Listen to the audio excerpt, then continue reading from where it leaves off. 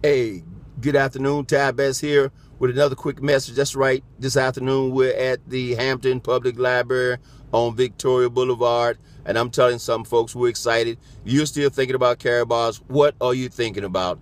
We get paid to save and we get paid to teach people to save. That's right, save real money, which is gold. If you're still thinking about it, you're missing the opportunity of a lifetime. Now I know you've heard that before. It doesn't matter. Your past and your past information does not equal your future. Understand something. What you've learned so far has gotten you where you are so far. If you want to continue down this same road, continue listening to that same information. If you'd like to make a change, we'll see at the public library. If not, go to Ty Best. Wait a minute. I'm sorry. Go to the realmoney.info and get back with the person who shared this quick video with you and found out what the real truth is, what's going on with money, and how you can change your life and the financial destiny for your entire family. Folks, we're so excited about what's going on right now. This is no hype. This is the real deal. We're all over the world, 120 plus countries. We do business 24 hours a day, seven days a week, and you are invited to join.